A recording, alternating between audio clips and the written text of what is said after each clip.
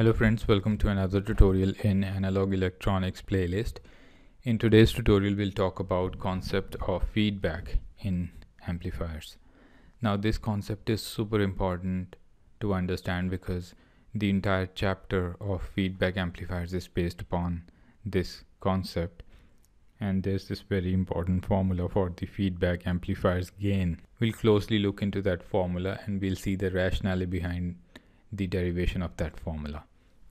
So if this is something that interests you, then please keep watching.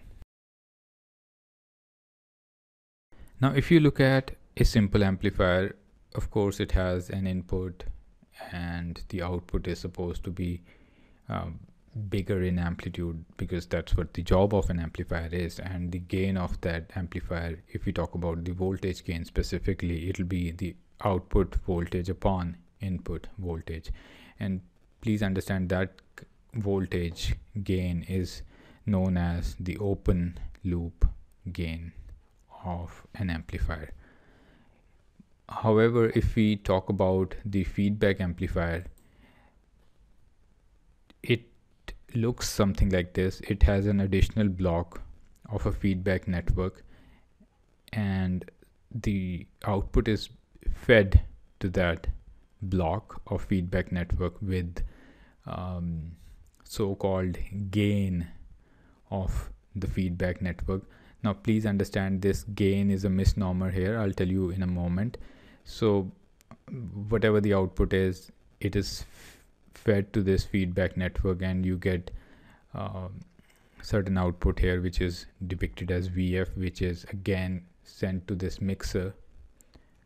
So this is a summing device or a mixer which will eventually take input signal and the feedback signal mix it and will feed to the amplifier again let us say the output of the mixer is VD. So VD will be either VS plus VF or it will be VS minus VF. It'll depend upon whether we give a positive feedback or a negative feedback. I'll talk about the nature of the feedback in a minute.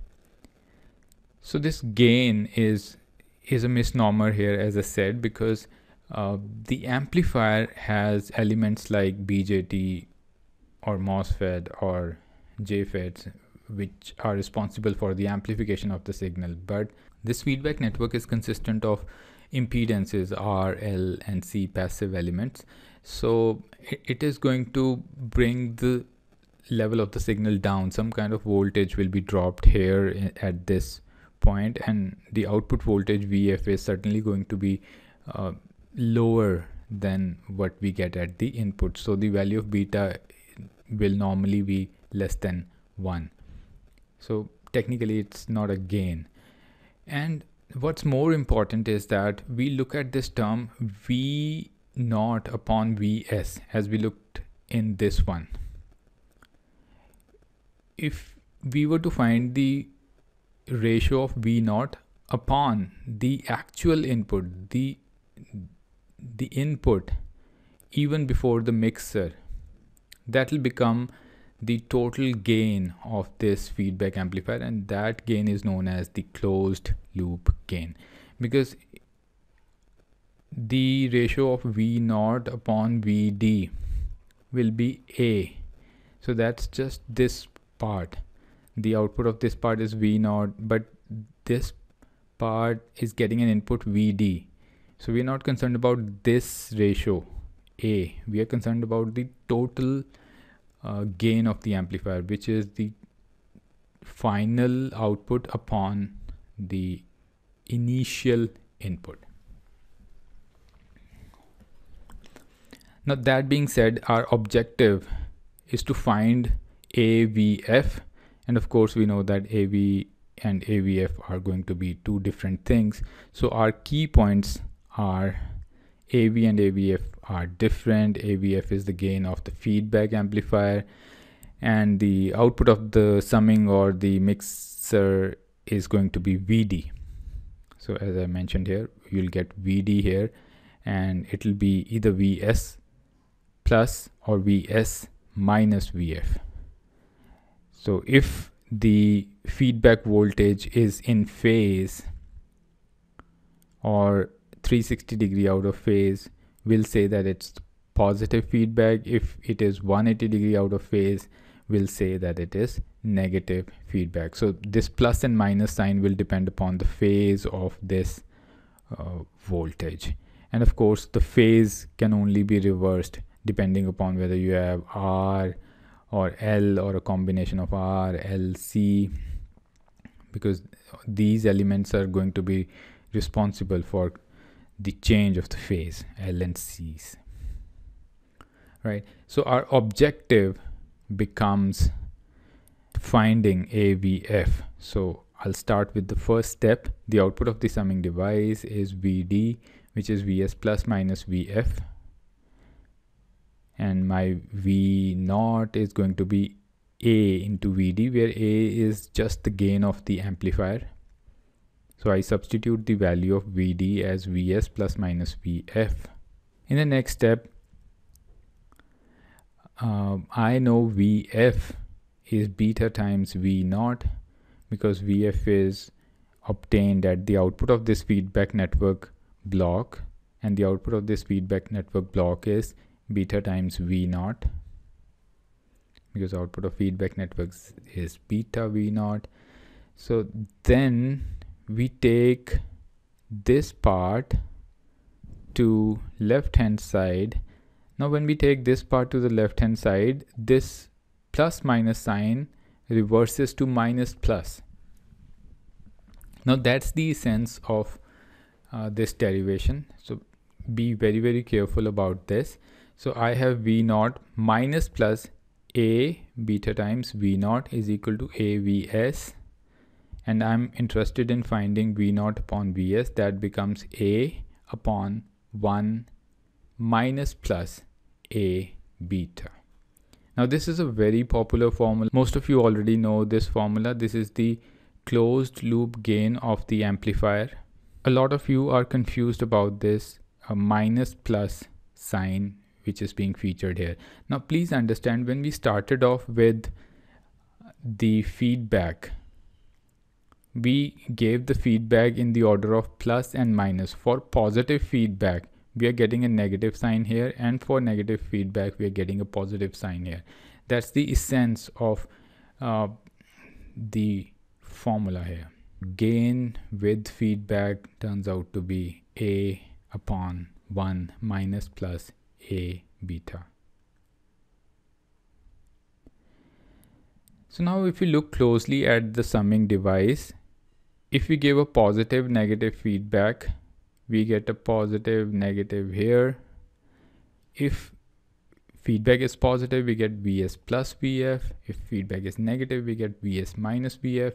And we see that the end result gives me a upon 1 minus a beta in case of positive feedback and we get a upon 1 plus a beta in case of negative feedback now let's look into the significance of this formula here, we know that the gain of the amplifier AV is going to be very, very large, greater than 1 because amplifier has BJT, MOSFETs and JFETs.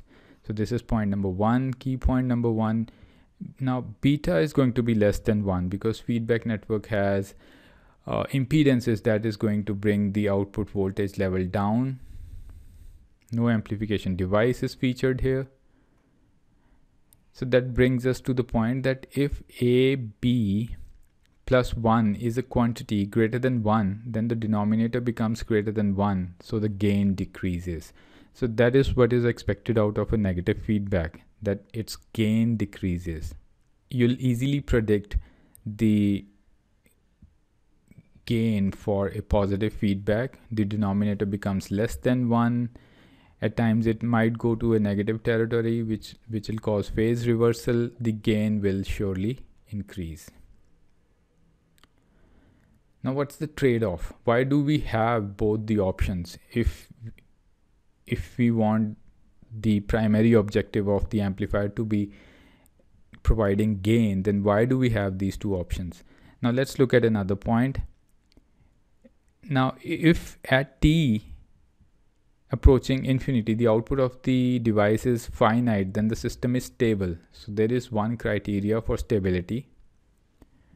and if at time approaching infinity the value of output is infinite then this system is unstable so we conclude that negative feedback amplifiers are best for increasing stability and positive feedback amplifiers are best for increasing gain so when we need to increase the gain of the system we'll employ positive feedback and when we need to increase the stability of the system we'll employ negative feedback and we'll employ mix of both in case we need to fine tune between gain and stability all the time.